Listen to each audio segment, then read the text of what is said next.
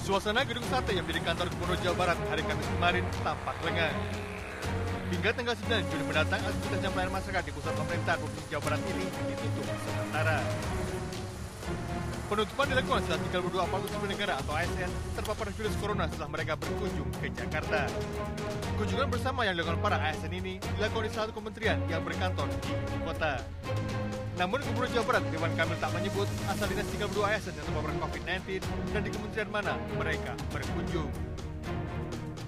Kami langsung melakukan tracing kepada seluruh yang terpapar keluarganya dan didapati fakta bahwa e, kejadiannya adalah pasca lebaran saat ada satu rombongan ke Jakarta melakukan pertemuan di kementerian e, kemudian dari situ ternyata menjadi sumber keterpaparan. Mudah-mudahan ini menjadi pembelajaran buat kita semua untuk selalu ingat ke mana pun kita pergi, bermobil satu orang, dua orang atau banyakkan tetap gunakan masker, jaga jarak, kurangi perbincangan yang tidak perlu sehingga kita tetap bisa produktif.